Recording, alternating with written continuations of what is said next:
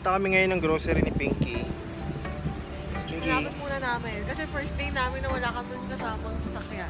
Oo. Wala kami So, kamusta yung Google Map natin dyan? Hindi lang. Hindi ko makita kung nasan tayo. Ah, Ito nga pala yung ah, neighborhood ni Jarod. Ngayon yung temperature is 18, so hindi masyadong ah, malamig. Pero malamig pa rin yung hangin, kaya naka-jacket kami. Sana hindi kami maligaw. Pero malapit lang naman yata. Ayan.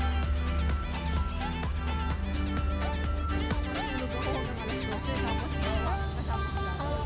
Para mag- Ayan yung neighborhood. Ganyan yung mga bahay.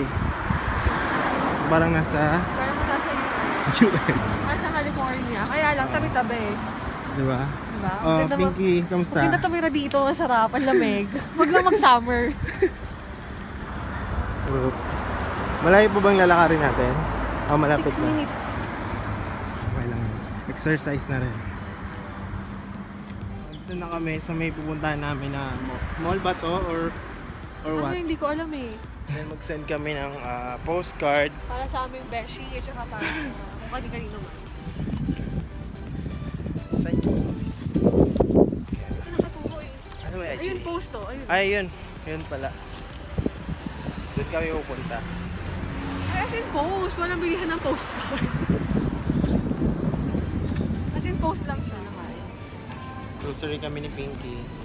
Tingnan yung mga ano, pasalubong. Pasalubong and Papaw ni Beshi. Papaw cream. maganda kami for uh, Jarod's birthday.